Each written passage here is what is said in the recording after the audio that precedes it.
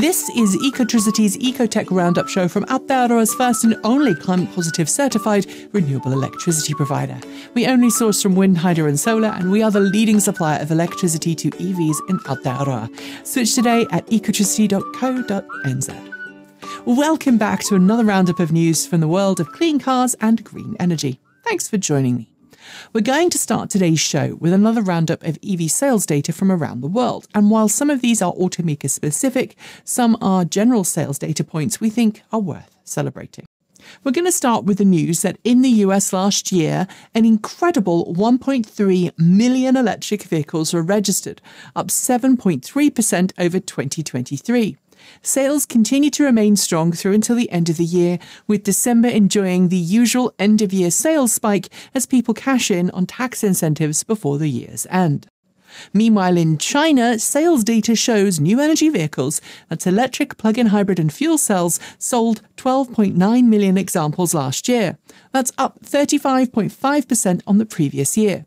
EVs accounted for the lion's share of NEVs sold by the end of the year, although I've been unable to get sources of data to agree on specific numbers. And that leads us to the news that globally, EV sales went up pretty much everywhere last year, other than in Europe.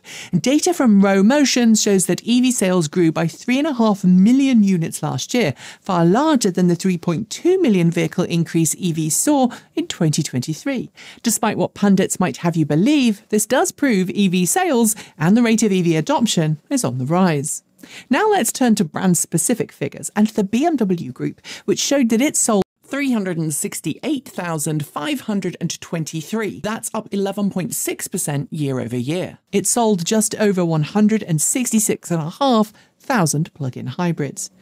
Audi has confirmed that it sold 164,500 EVs last year, down 7.8% year over year when compared to its 178,400 units sold in 2023.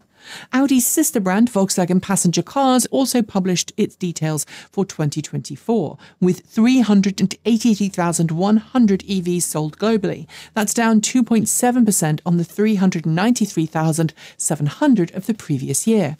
Skoda also saw a poor EV sales for last year, selling 79,600 EVs last year compared to the 81,700 of the previous year. That 2 point percent drop follows the pattern of European EV brands selling fewer EVs last year while the rest of the world grew. But one Volkswagen Group brand that did well was Seat and its sibling brand Cupra.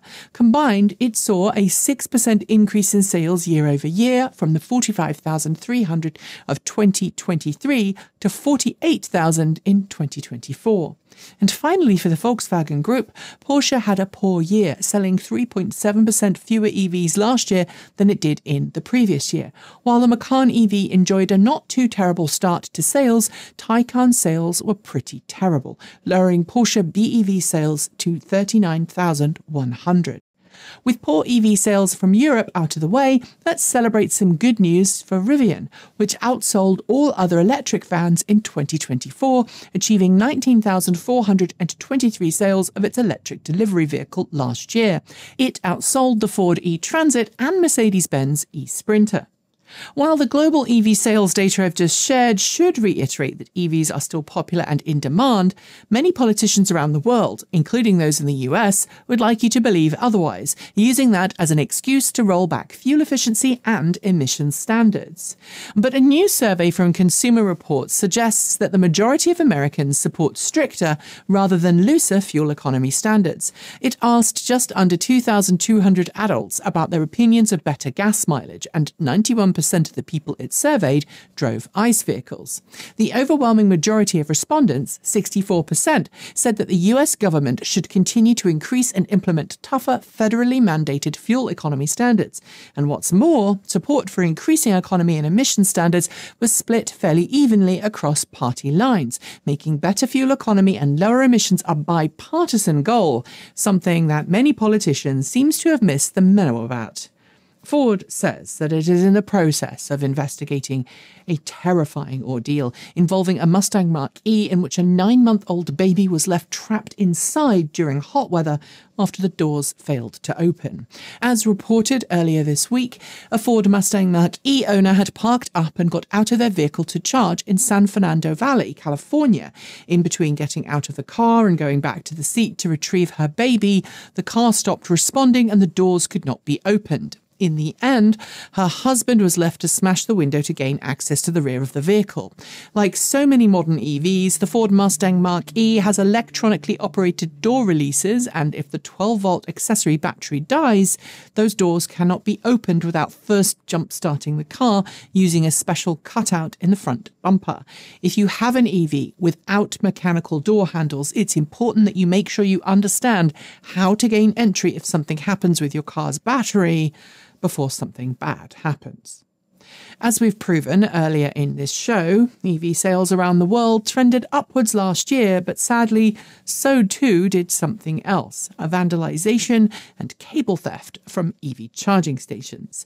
If you're lucky, the damage is just frustrating, like the time I found an entire sausage smushed into the CCS handle of a charging station in central Oregon. But sometimes that damage means that you can't charge, which, if you're really unlucky, could scupper your plans entirely entirely.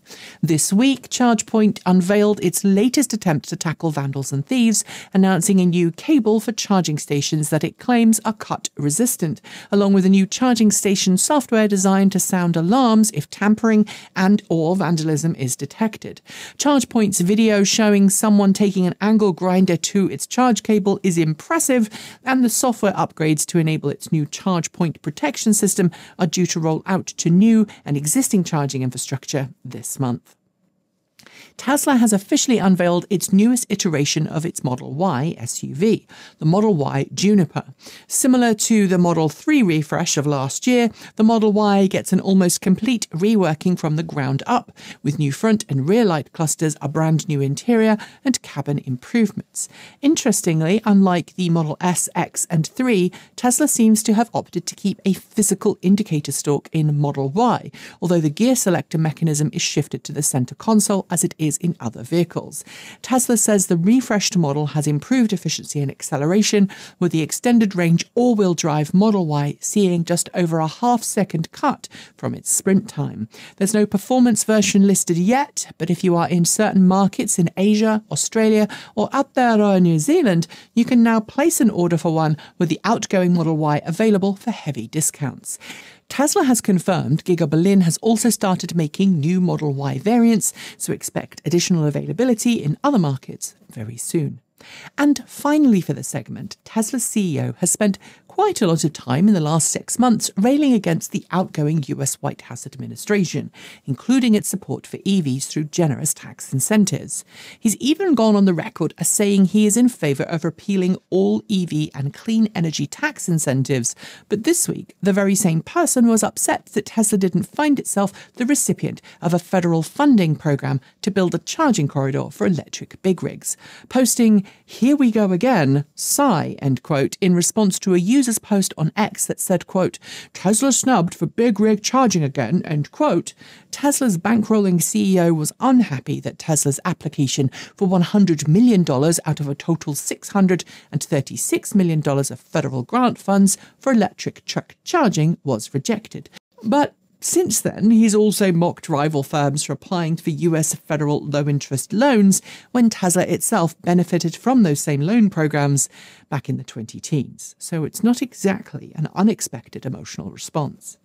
Before we get to the last two stories, I have a quick question. Are you in the market for a new EV? Because if you are and you live in Aotearoa, you should totally check out our very own buyer's guide at ecotricity.co.nz. It is packed with all the information you need to pick a car that's right for you and includes plenty of details about available vehicles, daily life with an EV, how to file and pay those pesky RUCs, and so much more. So follow the link below and start your journey today.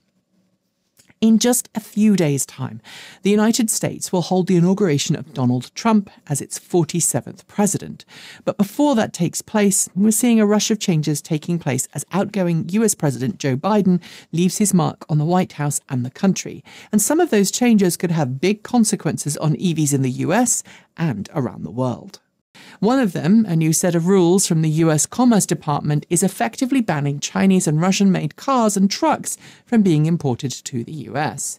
While there are already some pretty big restrictions into which vehicles can and cannot be sold in the country, there's been a lot of misreporting associated with this story, so as usual, we want to make sure we get the context right.